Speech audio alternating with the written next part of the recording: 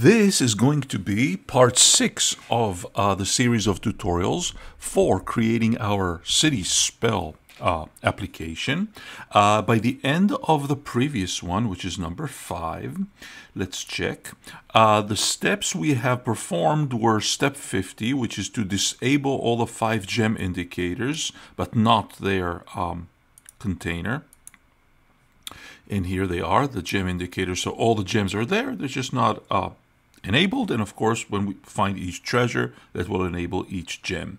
What I did notice now is that um, we did talk in step 5 about step 52, but we forgot 51, very important. We're going to give my wand 7 the tag wand in lowercase um, because the script will be asking for uh, an object will or, or interaction uh, triggering with uh, an object that has the tag wand. That gives us the option to have two wands or more than one and so on. Uh, so I'm going to go to my wand 7 and as we've done a few times in the past, I'm going to add tag, press plus, call it wand with lowercase for the only reason that that's the way it's going to appear in the script.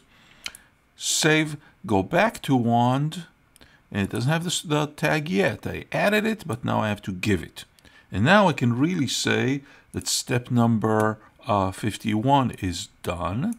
And I, be, I believe that we did, at least the beginning of step 52 in the previous tutorial, um, in the previous part, uh, create an empty game object, call it app manager, add a script to it named app manager, exact, put it in a scripts folder, create one if needed, we did, and replace the uh, default content with. So let's check that up to the code itself that we got everything. Let's see. Do we have an object called app manager? Yes uh, all uh, reset transform. And there's a script there called app manager. I'm going to open it for editing in um, Visual Studio. Takes a second. And of course right now it should be nothing but a shell which it is. I'm going to select all delete that shell and go to the Word um, tutorial. And right there replace content with from this first using I marked it blue so it's easy to see. Highlight highlight highlight carefully. That's it all the way to this last curly bracket. Copy go here line 1 paste, it should take us to line um, 38. So it's not a huge script. We're going to save. First of all, before I do anything else, I'm going to go back to Unity and see if there are any compile errors.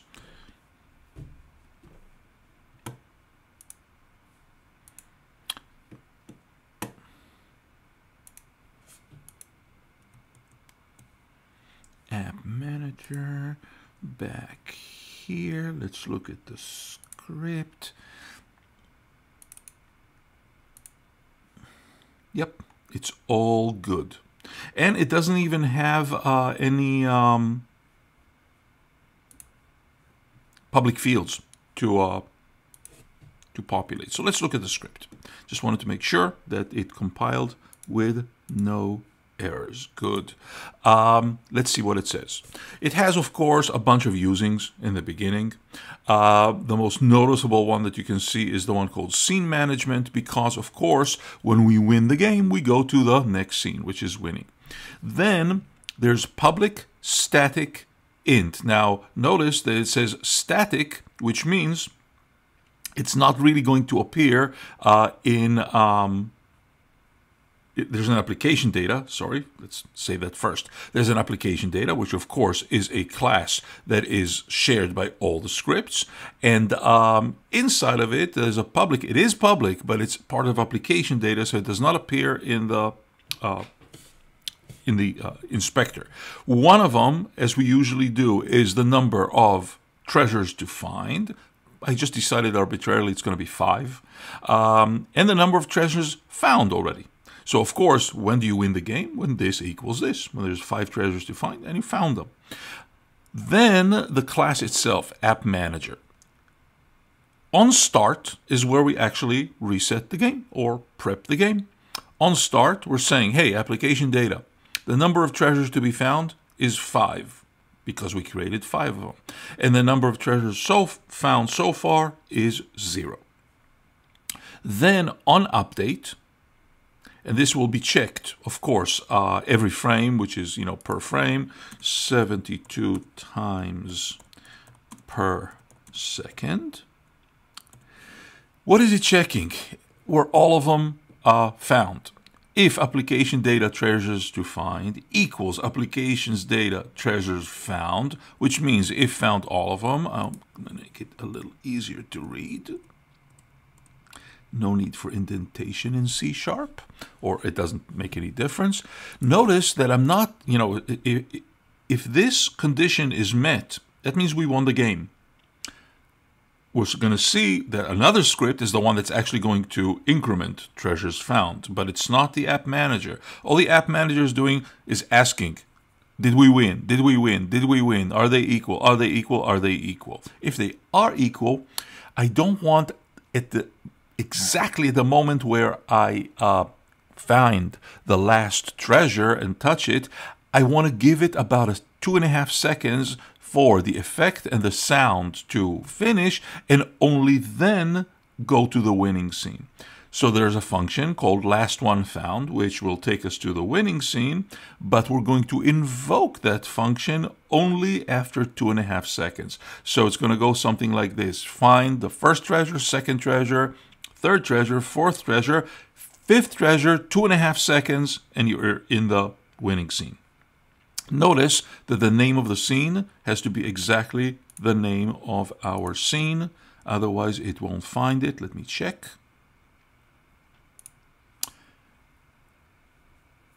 We don't have one yet, but we will. So that means one of the next steps is to create one. Um, but just like the scene main, which is with a capital M, the scene win is going to be with a capital W, which means go to the scene win, to the win scene. Let's make even that with a cap. We need to make one. And this will happen a couple of steps from now. I'm saving, I'm going back to Unity, making sure that there are no uh, compile errors. Good. Um, right now, there's nothing really too much there, so we can uh, continue to the next step. We just copied all of this script. This is our app manager. Now, the single treasure, because that's the one being caught, so it needs a script that indicates someone found me. It needs a script to the prefab, so that way we're going to add it to all its uh, instances. We're going to add a script called single, single treasure script Exact. So I'm copying this name. Of course, delete the um, default code and paste what we're going to paste in a second. But first, let's find it. I got my prefabs, and here's a single treasure, and I'm going to, I don't even need to open it, but I might. Uh, but the most important thing is to add component to it, which is going to be a new script, and the name of the new script is going to be single treasure script create and add. And of course, as we always do, move it from the top of the assets folder to my script so it's nice and organized with the previous script we wrote. So here is, here are the two scripts in my scripts folder. Oop, not this. Not my fonts.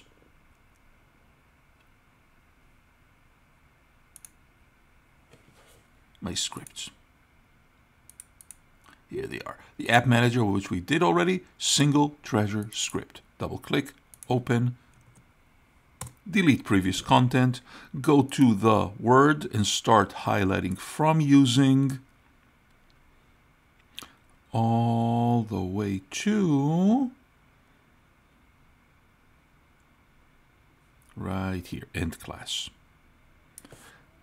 Copy line one, paste. That should have taken us to line 35. Again, not the biggest script ever. save. Um, let's see if Unity is accepting it. Didn't take long at all. Um, single treasure. It has two uh, public fields, which we're going to um, populate in a second once we get to them. So we are inside the um, prefab called single treasure. We added a script to it, and that script does have two fields. The idea is that it has those two big containers that we created, gem and vanish container. Gem is what it looks like until it's found. Once it's found, gem disappears, and vanish container, which is that energy effect, appears. As a matter of fact, we could do it right now. The part of my gem will be played by gem. The part of vanish container, which is disabled to begin with, will be played by the vanish container. And now those two objects are assigned. Let's look at the script. All of its 35 lines. Um, not too many libraries using, uh, just normal stuff. And then the class. We're declaring two public objects as we've just seen them, these guys. Uh, one game object, gem, uh, with its lights and everything. Remember, the gem is not just the gem. The gem is a whole container that has a gem and a fireball, you know, effect around it. Here it is.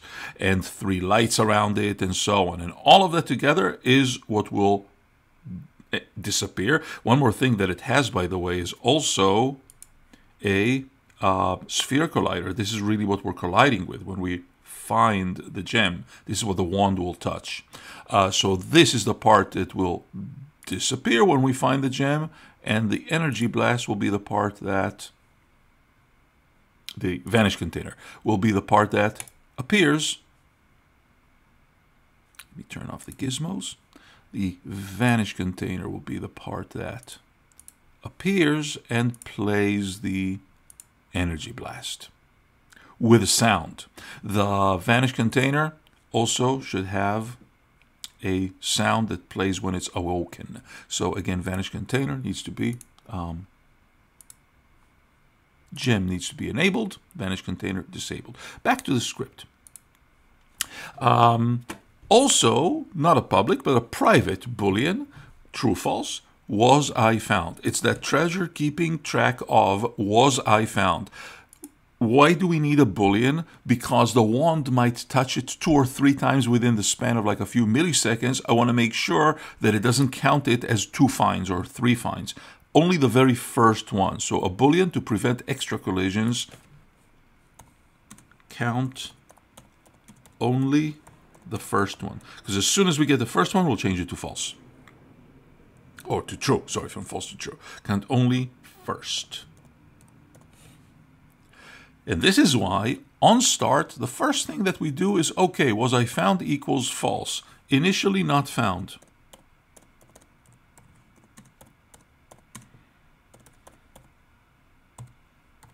And then on update, which is of course 72, 72 times a second, um, we're doing something really simple. We're saying, hey, I want to rotate. How do we rotate? If we say just transform.rotate, and the question is who's transform, it's of course the object that owns this script. The object is the treasure, it's the whole treasure. What will it do? Rotate. What um, axis will it rotate? Y. Let's remind us ourselves that um, there are three axes, X, Y, and Z. If we want to put, if we want to address the Y, uh, that would be up because uh, uh, x is left right. Uh, if we wanted a negative number, it would still be uh, y, but it would be down. And then, of course, the z is forward and backwards. So vector 3 up is a shorthand for addressing, as you can see, shorthand for writing vector 3, 0, 1, 0. No x, positive y, no z. How fast? 40 times delta, delta time. We explained this back when we did the target. What is del time dot delta time? It's the time in interval in seconds, it's actually milliseconds, from the last frame to the current one. A 70 second of a second. One second divided by 72. As a matter of fact, we can see this number if we go to edit um, sorry, not Visual Studio, in uh, Unity, edit, and look at the project settings. Time, this is the number. This is time dot delta time.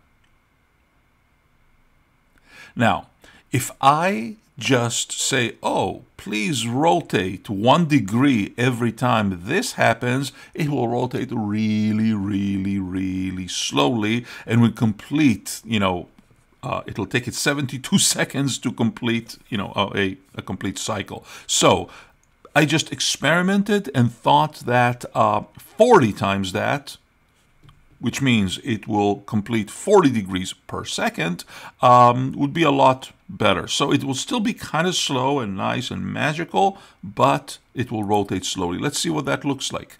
Single treasure play.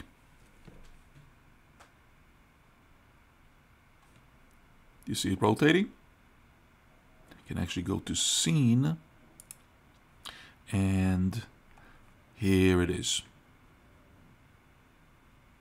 It's rotating the whole thing. If I actually looked at any one of my treasures, looked at this one, here is its Y. You can see that it's about 40 degrees per second. Which means it'll take it about three seconds to complete, no, not even three, like uh, six seconds to complete um, a complete uh, rotation. The important thing for me to, in rotating this was that those um, spotlights inside will rotate with it and will kind of draw my attention when I'm looking for them. Okay, back to the script. So this will rotate the whole thing. Whole treasure rotates around itself.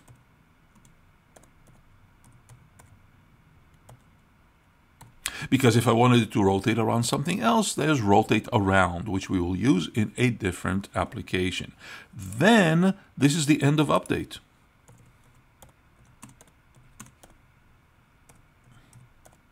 The next uh, function, which is really the last one, is of course on trigger enter. Let's remind ourselves, why not on collision enter? We're doing on trigger enter because we want the wand to touch the treasure, but not move the treasure. We're not knocking it out of place. We want it to basically go through it, but still detect that it was triggered. In order for that to be detected, at least one of them needs a rigid body and a collider set to trigger. So let's see.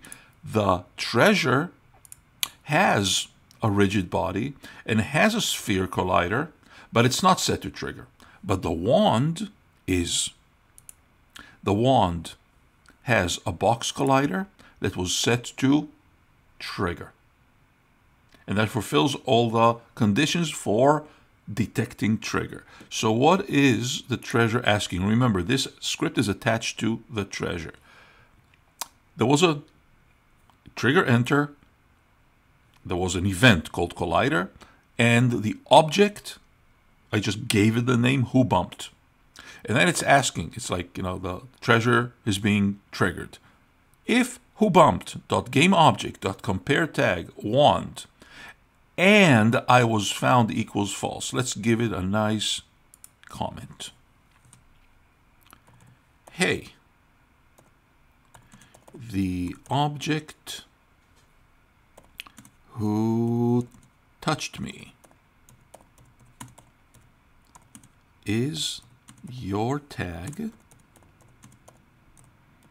wand? And if it is, is this the first touch? First of all, if this uh, condition is uh, met, I was found equals true. So from that point on, even if there's another trigger, it will not meet this um, condition, and therefore it will perform all of this only once. Because as soon as we found it, we say, oh, I was found. Now I am found. And what happens when the treasure is found? Notice how when I was developing this, I was, uh, you know, just making sure that I get a message. Print bump. Um, first of all, we want the uh, gem to be turned off. We found the treasure, gem disappears.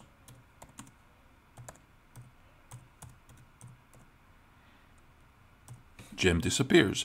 But the vanish effect appears. Show vanish effect.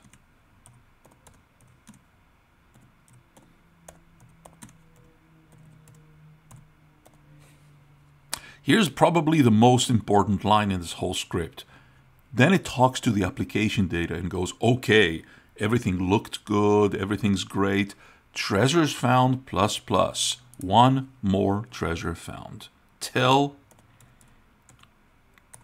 everyone, because application data is uh, accessible by everyone, its scope is the whole application. One more treasure found. And remember, the application, the uh, app manager is con constantly keeping an eye on this. It's constantly asking if, if, if, if, if on update, is it equal? Is it equal? So at first it's going to be 0, then 1, then 2, then 3, then 4, and finally when it's 5, when treasure is found has been incremented to 5 by finding the fifth treasure, finally it's going to take us to the winning scene after two and a half seconds. I'm going to stop this tutorial here and we will continue on part 7.